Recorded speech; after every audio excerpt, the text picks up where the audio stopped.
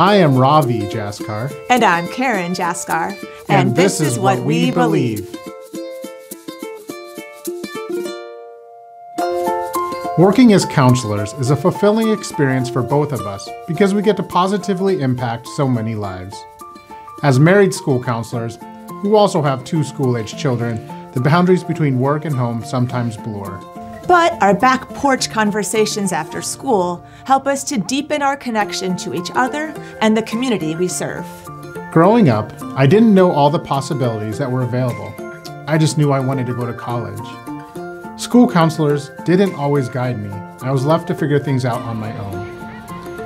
That's why today it is my priority to help all students know and understand the possibilities that are available after high school.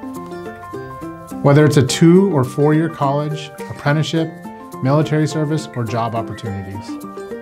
It is my personal mission as a middle school counselor to start these conversations with students and help them begin their journey.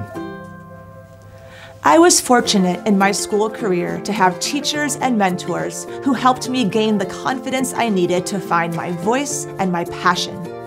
Having adults who knew me and who I trusted, that helped me discover what I wanted to do with my life.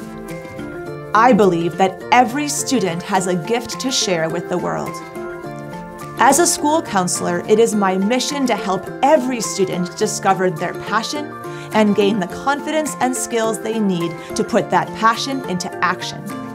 We want to see a world where all students have the opportunity to be who and what they want to be.